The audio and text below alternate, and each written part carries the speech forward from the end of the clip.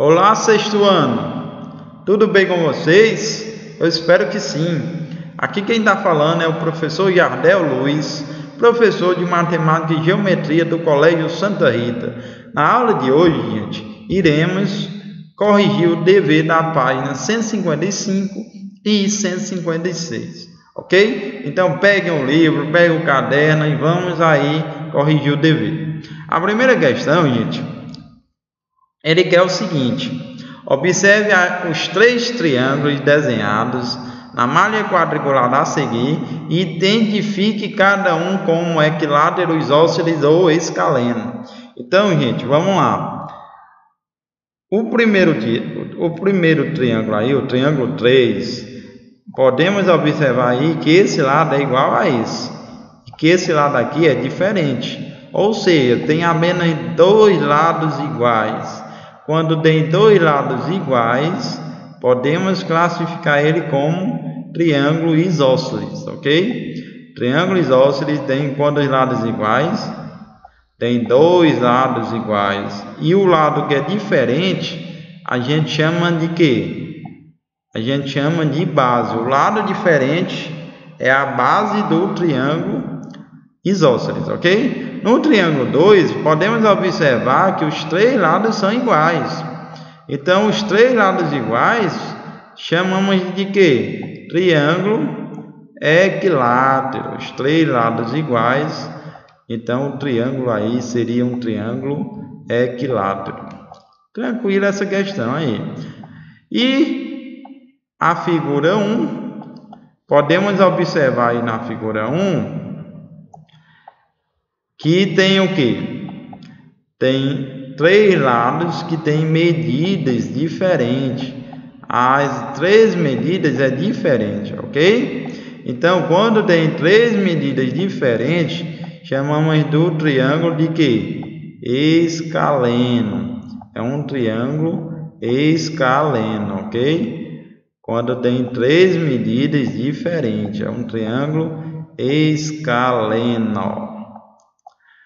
Tranquilo a primeira. A primeira era só classificar os triângulos, ok? A segunda questão. Desenhei alguns quadriláteros na malha quadriculada. Aí tem um, dois, três, quatro. Quatro quadriláteros. Escreva quais deles são paralelogramos. Gente, paralelogramo que tem os lados paralelos, os lados opostos são paralelos. Tipo, a figura 1, ó, a figura 1. Esse lado AD é paralelo com o lado CB. E o lado DC, o lado aqui DC, é paralelo com o lado quem? É paralelo com o lado AB. Ou seja, a figura 1 é um paralelogramo, ok? A figura 3, ó, esse lado aqui é paralelo com esse ok? E o lado TS aqui é paralelo com o lado UR.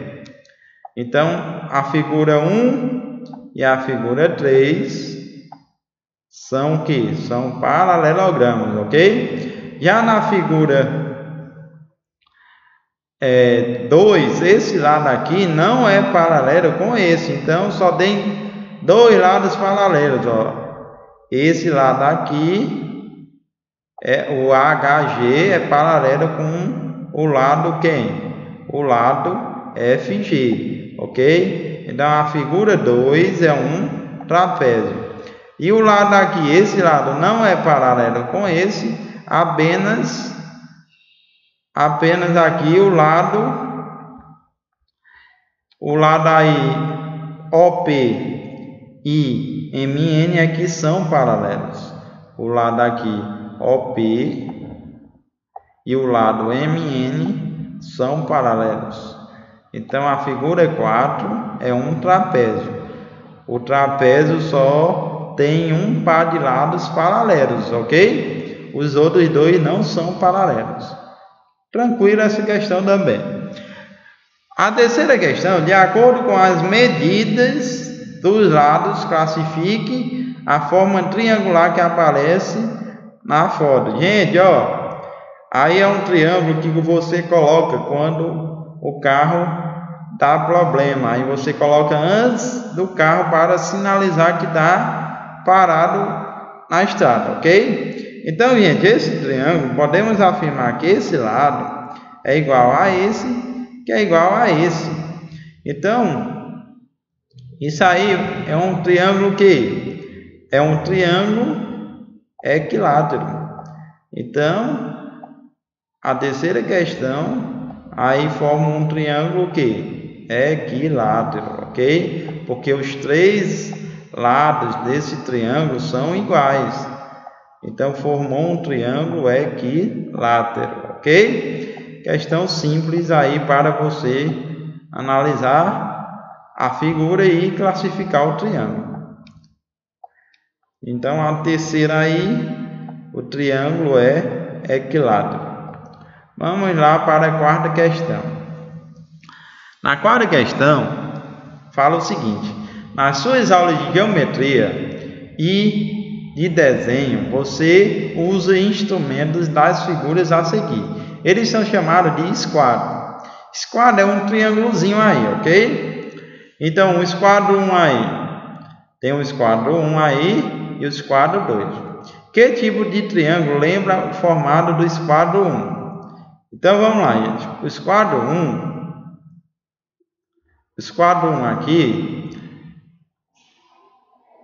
lembra que tipo de triângulo? Lembra um triângulo, ó. Um triângulo, o que? Retângulo, ok? Só que o triângulo retângulo aí, ó, esse lado, esse lado e esse lado aí são três lados diferentes, ou seja, é um triângulo retângulo e escaleno, ok? O triângulo 1 é um triângulo escaleno. É um triângulo escaleno. E o esquadro 2, ó, o esquadro 2 aí, podemos observar que esse lado aqui é igual a esse. Só que o lado aqui é diferente. Ou seja, os quadros 2 formam um triângulo isósceles, ok? Os quadros 1, um, escaleno. Os quadros 2, um triângulo isósceles. É um triângulo isósceles. Questão também só de analisar, ok? Os dois triângulos aí dessa figura são dois triângulos o? Retângulos, porque formam ângulos retos, ok? Formam ângulos retos. Vamos lá para a quinta questão. Na quinta questão, gente, a figura mostra um hexágono. O hexágono é o que? É um polígono que tem seis lados dividido em um certo número de triângulos, todos do mesmo tamanho. Ou seja, quando os triângulos, a gente observa aqui, ó, um, dois, três, quatro, cinco, seis triângulos. Então, existem quando os triângulos aí, seis triângulos, ok? Que tipo de triângulo é cada um? Gente, Cada triângulo aí é um triângulo que esse lado é igual a esse, que é igual a esse. Vai formar três triângulos, seis triângulos equiláteros. Forma seis triângulos equiláteros, ok? Forma seis triângulos equiláteros. Tranquilo também. Esse dever, gente, a maioria desse dever aí é só classificação. Só classificação. Então, se você souber a classificação em relação aos lados, dá para resolver a maioria das questões. A sexta questão, usando um geoplano. Geoplano é um quadro que é cheio de pontos, cheio de pontinhos, ok? João construiu um triângulo na figura. Esse triângulo aí é era escaleno ou isósceles? Vamos lá. Gente, pela lógica aí, esse lado aqui é o menor lado, ok? Esse outro lado aqui é o lado médio. E esse lado aqui é o lado maior. Ou seja, esse triângulo aí é um triângulo que escaleno. Por que, que ele é um triângulo escaleno? Porque tem os três ângulos, os três lados iguais.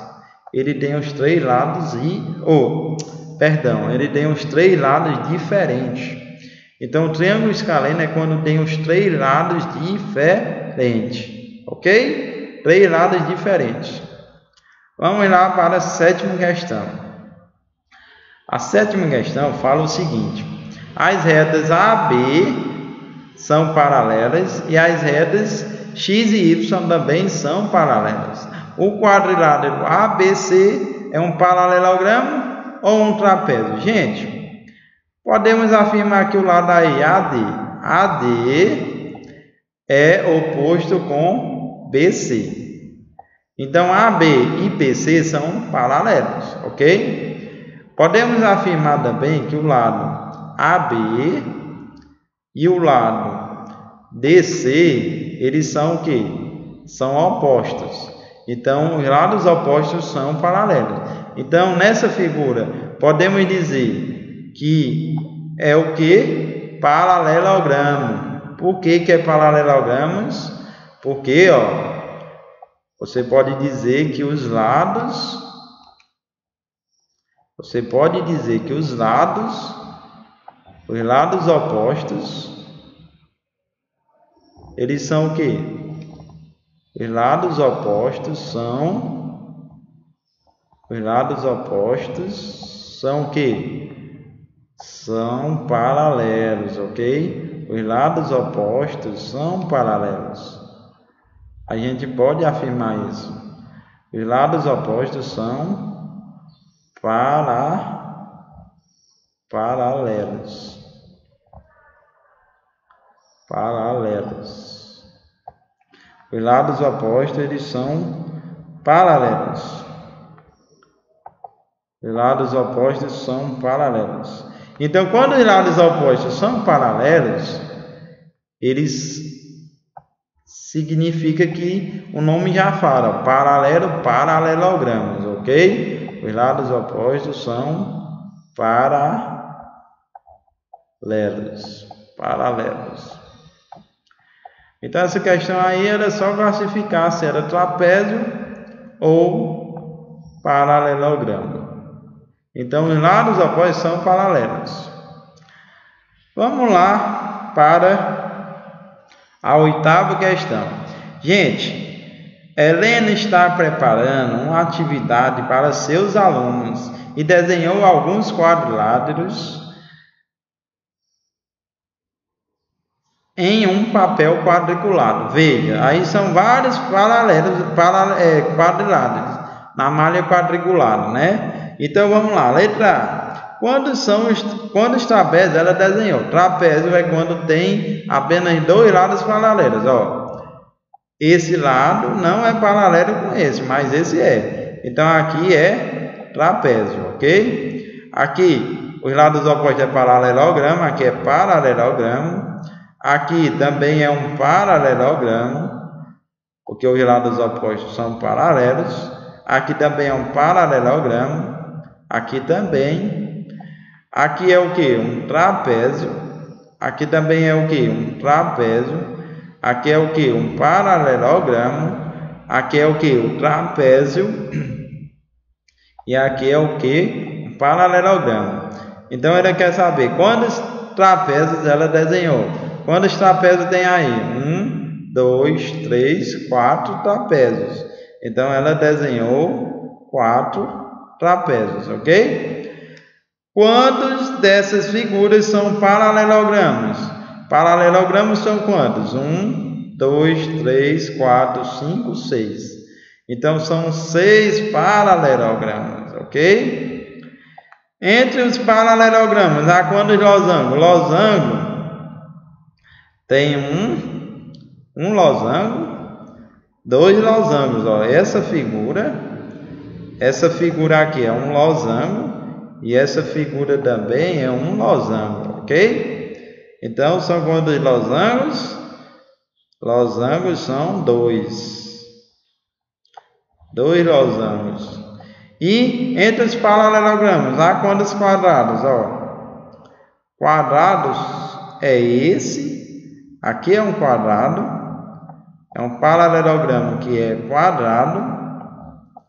E esse losango também é classificado como quadrado também, porque tem uma classificação. Ó. Todo quadrado é losango e retângulo, mas nem todo losango é quadrado e nem todo retângulo é quadrado. O quadrado ele pode ser losango e retângulo, mas nem todo retângulo pode ser quadrado e nem todo losango pode ser quadrado. Ó, esse losango aqui ele é quadrado, mas já esse losango não é quadrado, é apenas losango, ok? Então, quantos quadrados eu posso encontrar aí? Dois quadrados, porque todo quadrado é losango, mas nem todo losango é quadrado. Todo quadrado é retângulo, mas nem todo retângulo é quadrado, ok? E essa questão 9, ele quer saber o seguinte, ó. Com seis palitos de fósforo, formei um triângulo equilátero. No caderno, acrescente três palitos iguais a esse, de modo que fique de modo que fiquem cinco triângulos equiláteros, sendo um grande e quatro pequenos. Gente, aqui no desenho já dá aqui de lados, ó. Se eu colocar um palito aqui, coloquei um palito aqui. Se eu colocar um palito aqui, Coloquei um palito aqui. Se eu colocar um palito aqui, vai formar quantos triângulos? Vai formar um, dois, três, quatro. E o triângulo maior que será esse. Ou seja, se eu colocar os três palitos aí dentro do triângulo, vai formar quatro triângulos menores e quatro triângulos menores e um triângulo grande, ok? Então, questão aí é só analisar essa figura. Ó, a décima questão é assim. Ângelo recebeu uma mesada de 60 reais. Represente essa quantia com uma figura retangular e organize segmentos de reta para dividir-o em partes. Então, gente, vamos organizar aí. Ele quer que faça um retângulo. Então, ó, vou desenhar um retângulo aí. Esse retângulo vai dividir vai dividir esse retângulo em três partes, ok? Ele disse que a metade ele gasta com lanche, então vou pegar a metade do retângulo. A metade aqui é só lanche, ok? A metade é só lanche. Então, ó, a gente faz a metade do retângulo e coloca aí lanche. Lanche vai ser 30 reais. Ok? Aí as, a outra medalha ele divide em dois. Ele divide em dois. Um, ele diz que é poupança. Um ele coloca em poupança. E o outro ele coloca em outros. Ok? Ele coloca em outros. Então, ó, essa questão aí é uma questão que você ia só representar com um retângulo, ok? Então, 15 reais para a poupança e 15 reais com outras coisas, ok? E 30 reais com lanche. Tranquilo, era só fazer isso. Faça uma tabela para mostrar como você dividiria uma mesada de 60 reais. Essa letra B e a letra C que tem nessa questão aí é, é uma resposta pessoal, ok? Você pode organizar aí do jeito que você quiser. Essa resposta aí é pessoal. Então não vou responder a letra B porque é pessoal. Tem várias respostas. Ok? E a C também é pessoal. Ok? E para finalizar a aula, vamos lá. Com 18 palitos de fósforo, formou-se um triângulo equilátero abaixo. Conte quantos triângulos há nessa figura. Gente, essa questão é um pouco de análise, presta atenção. Eu vou fazer ela por etapas, ó. Eu vou pegar e contar os triângulos menores. O triângulo menor tem um, dois, três, quatro, cinco, seis, sete, oito, nove. Então, ó, triângulos pequenos. Os triângulos pequenos,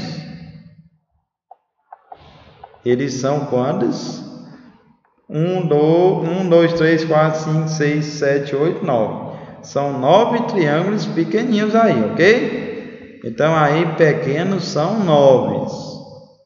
Aí grande, grande só tem um, né? Que é o maior. Grande, o triângulo grande vai ser só um. Ok? O triângulo grande é só um. Então são quantos triângulos grandes? O triângulo grande é isso aqui, ó, é o maior. Aqui é o triângulo grande, ok? Então, por enquanto, formamos quantos triângulos aí? Um grande mais nove pequenos formou quantos? Formou nove triângulos. Mais um, dez triângulos. Vou colocar outra cor para diferenciar. Agora, gente, vamos pegar o triângulo médio. Ó. O triângulo médio, eu posso dizer que tem um, Aqui é um triângulo médio, ok? Eu posso dizer que esse triângulo aqui é o outro triângulo médio, ok? E eu posso dizer que esse triângulo aqui é o outro triângulo médio. Então, gente, formou quantos triângulos médios aí? Triângulo médio os triângulos médios, os triângulos médios são quantos? Os triângulos médios são três. Então, gente, quando você soma todos os triângulos, vai dar um total de 1 mais 9, 10, mais 3, 13. Então, quantos triângulos há na figura? Total aí o total aí vai ser 13 triângulos, ok? Então essa questão aí é só analisar. Muita gente erra porque conta só os pequenos e o grande, esquece de contar os médios, ok? Então, gente, a aula de hoje era essa. Estudem todo o conteúdo visto até agora, que nas próximas aulas iremos fazer atividades extras, ok? Atividades que não tem no livro de vocês. Então, bons estudos, obrigado pela atenção e até a próxima aula.